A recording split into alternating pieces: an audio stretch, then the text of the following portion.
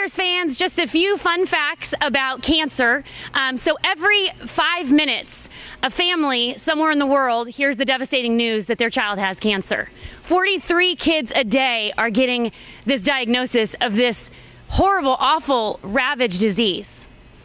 And you know, there's a lot of great charities out there that are doing amazing work around pediatric cancer. One that I wanted to share with you that is near and dear to our hearts is called Triumph Over Kids Cancer. Andrew's actually been asked to be the wingman this year, kind of the face of the foundation.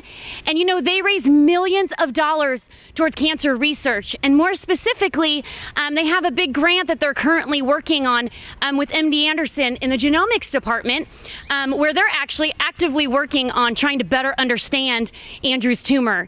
And so um, it is a special organization that is working with a very special hospital um, that has, has really blessed us in a big way.